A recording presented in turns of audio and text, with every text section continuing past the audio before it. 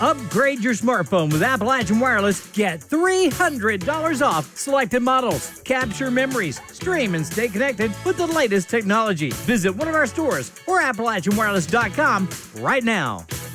Appalachian Abundance will be hosting their first clothing swap Saturday, July 22nd at AppCycled in downtown Pikeville. The clothing swap is going to be set up in a way where you come in with your clothing that is washed, no stains, no rips, clothing that's in good condition that you would give to someone else. And you're going to bring those items in pre sorted, pre folded and we're going to have clothing laid out that other people have already donated for the cause. And you're going to get one ticket per one item. And then you can go through all the clothing that we already have set up.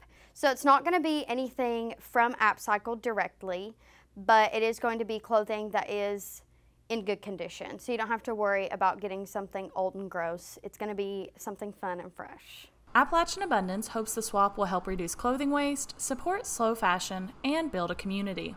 The clothing swap is kind of going to enhance the community around reduce, reuse, recycle.